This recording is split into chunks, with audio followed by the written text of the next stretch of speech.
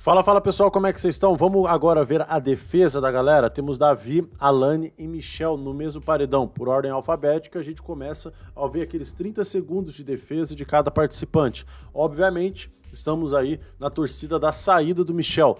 Tropa do Rafa, vamos com tudo tirar o Michel da jogada. Já deu esse, essa planta ficar enchendo o saco na hora da prova. Se liga nessa. Boa noite, Brasil. Boa noite, Tadeu. Eu tô muito feliz. Eu tô muito feliz de estar aqui. Sábado é meu aniversário de 25 anos e eu espero de todo o meu coração que vocês me ajudem a permanecer aqui para eu continuar realizando esse sonho.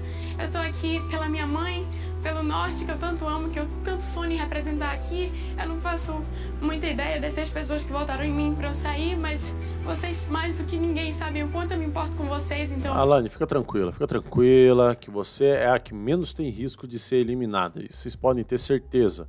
Até o Davi tem mais chance de ser eliminado do que a, do que a Alane, porque o Davi agora é indicação direta de várias torcidas aqui fora.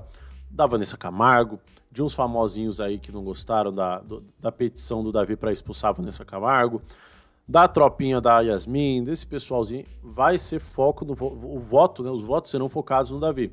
Obviamente que a gente aqui da internet é maior. Eu acredito que canais influenciadores que falam de PBB têm mais força do que essas páginas aí de famosos. Isso eu tenho certeza. Porque é questão de, de influência no meio do reality show.